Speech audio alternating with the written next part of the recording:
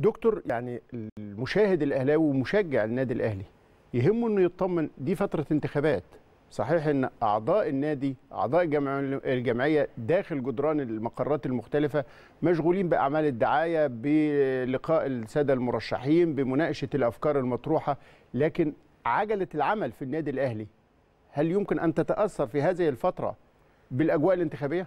خليني أقول لحضرتك إن إن إن إحنا دايما في النادي الأهلي بنبقى حريصين على إن يبقى في توازن كبير مهم مهم. موجود في النادي الأهلي فعلى الرغم من أهمية الانتخابات لأن الانتخابات هي التي تصنع مستقبل الأربع سنوات القادمة صحيح وده شيء مهم يمكن صحيح. النادي الأهلي خلينا نقول إن أحد مصادر قوته كانت دائما من جمعيته العمومية عندما تكون هناك جمعية عمومية قوية فإنها تدعم قوة القرار. قوة القرار وده ما يعرف تاريخيا عن النادي الأهلي أن النادي الأهلي يمتلك قوة القرار. فصناعة قوة القرار بتنشأ من جمعية عمومية قوية ولذلك النادي الأهلي واجه الأربع سنوات الماضية آه، تحديات ضخمة وكبيرة لم يستطع أي نادي آخر أن يواجهها لولا قوة صناعة القرار في النادي الأهلي اللي جاية من خلفية من الجمعية العمومية. عندما نزلت بس- بز- بما يزيد عن 36 ألف صوت داخل هذه الجمعية ده كان انعكاس